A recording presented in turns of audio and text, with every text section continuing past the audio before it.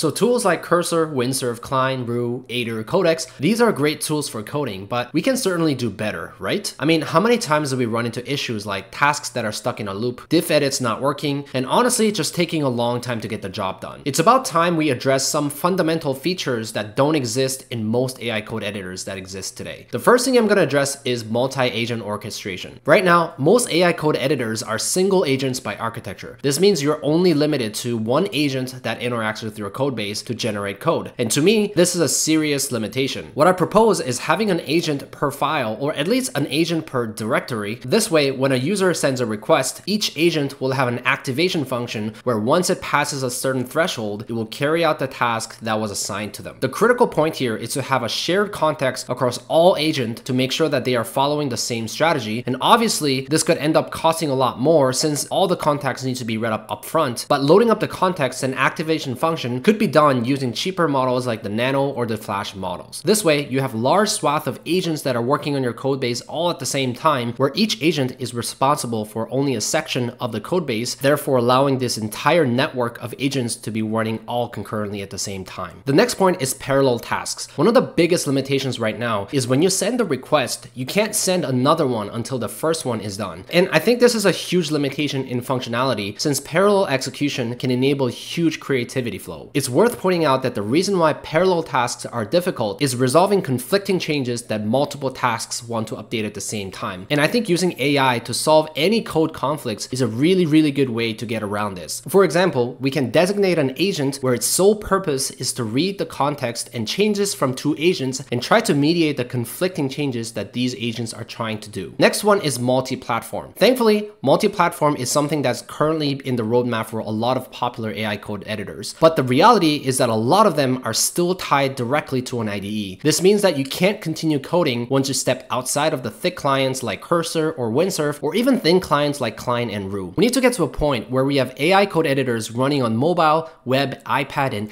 any devices that we interact with on a daily basis. And to me, this is a no-brainer. My final point is memory. We need to go beyond task-specific memory and go for holistic memory where the agent knows you on an individual basis and also the code base as a whole. Although there are techniques like Cline's memory bank feature or even memory MCP, where I envision memory to be in the future is regardless of which device or instance that I run the code editor, the agent should know who it's talking to and all the relevant details about me and the code base that I'm currently working on. I think implementing these features would bring AI code editors to the next level where we can see insane improvements in coding experience and creativity flow for people who are trying to build apps.